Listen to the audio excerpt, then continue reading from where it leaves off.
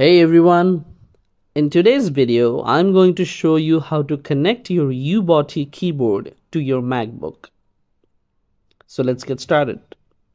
First, you have to prepare your MacBook. Ensure your MacBook's Bluetooth is enabled.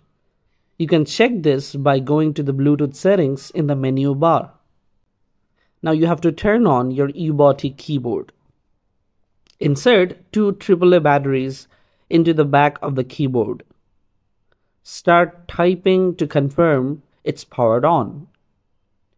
Now it's time to activate Bluetooth mode on the keyboard.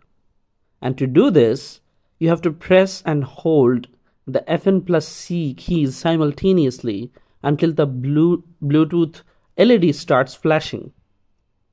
This indicates the keyboard is in pairing mode. Now pair the keyboard with your MacBook. On your MacBook, go to the, go to the Bluetooth settings and search for available devices. Now select your Ubotie keyboard from the list of devices to connect. Now it's time to set up for Mac OS. Once the keyboard is connected, press Fn plus E to switch the keyboard to Mac OS mode. You can switch systems with Fn plus Q slash W slash E for different devices. That's it. That's how you do it. It's easy and straightforward to connect your Ubotie keyboard to a MacBook.